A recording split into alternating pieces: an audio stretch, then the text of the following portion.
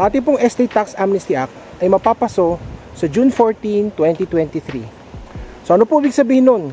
Kung meron pa po mga properties na kapangalan sa inyong ninuno, sila po ay pumanaw noong December 31, 2017 pababa ay yung mga properties na po yun ay magkakaroon na ng penalties, interest, surcharges kapag nag-expire na po ang ating estate tax amnesty.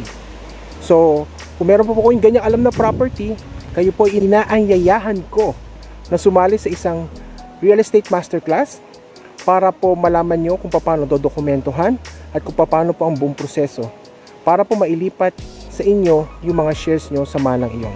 O kung gusto nyo rin bumili ng mga properties na nakapangalan na sa mga taong patay na. Okay? Yung link po ng seminar na yun ay naandito at sana po kayo ay makita ko sa Real Estate Masterclass na yun.